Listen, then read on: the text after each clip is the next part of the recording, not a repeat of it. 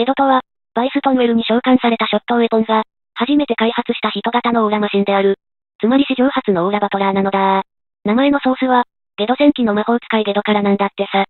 あの国で開発されたオーラバトラーで、ダンバインのプロトタイプでもあるんだよね。武器は、オーラソードだけ。内臓火器とか飛び道具などは一切なし。オーラ増幅器が開発される前の機体なんで、搭乗者に非常に高いオーラ力がないとガス欠で動かないという困った機体。しょうがないんで、地上人を召喚するきっかけになっちゃったんだよね。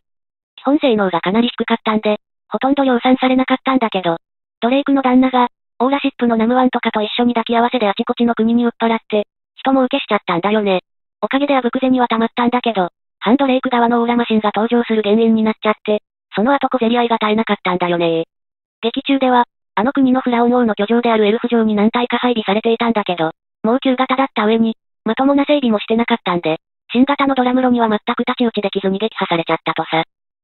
さてキットですが、当時の値段は500円でした。ダンバインのプロトタイプというだけあって、シルエットはダンバインそっくり、後発のキットなんで、若干プロポーションが改善されてたりするんだけど、厄介なキットには変わりなかったねこのキットをベースにダンバインを作るモデラーもいたものさ。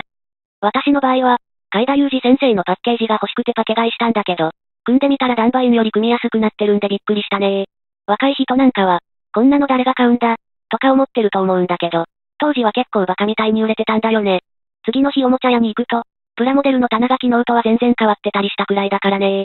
でもね、ダンバインのキットは、当時のガンプラと比べても二回りほど小さいんだよね。当然、関節も華奢なんで、すぐにバカになっちゃうんだ。作るんならポーズを固定するのがおすすめだねこのキットやビランディみたいに、ボックスアートがいい出来だとポーズを選ぶのに困らなくていいんだよね。当時流行った改造はねけど濃い緑色に塗って、赤いマフラーを首につけてバイクに乗せてやろう。目も赤く塗ったらいい感じだね